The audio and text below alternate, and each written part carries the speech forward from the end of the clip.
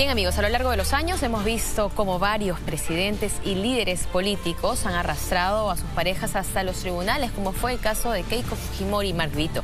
En el siguiente informe conozcamos qué otras parejas de políticos pasaron por hechos similares.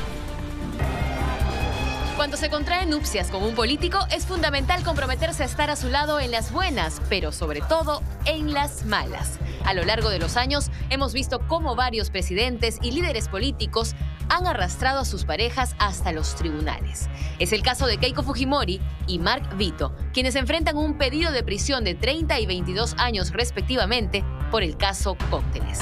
Pero no son los únicos.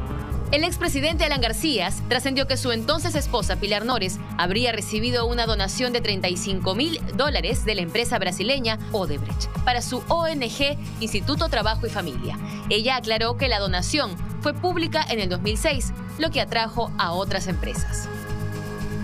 Fue Alejandro Toledo quien se convirtió en la esperanza de un gobierno honesto en el 2001. De pronto, su esposa, la antropóloga belga Eliane Karp, cobró gran protagonismo por su carácter la aparición de Saraí, una hija no reconocida en ese tiempo por Toledo, golpeó su matrimonio. Ellos continuaron y al tiempo el escándalo de Ecoteva puso nuevamente los reflectores sobre la pareja y llegó hasta la madre de la ex primera dama.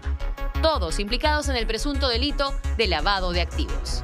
Son estos procesos los que pueden llevar hasta la prisión a una pareja presidencial. Ollanta Humala y Nadine Heredia, procesados por el presunto delito de corrupción, acusados de financiar irregularmente las campañas electorales con la ayuda de la empresa Odebrecht, han pasado uno de los juicios más mediáticos de nuestra historia.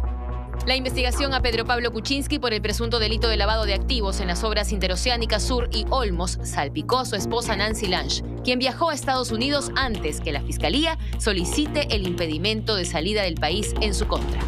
Distinto es el caso de Martín Vizcarra, investigado por el Vacuna Gate y el Club de la Construcción. Su esposa Maribel Díaz guardó distancias en la gestión y se libró de una acusación fiscal.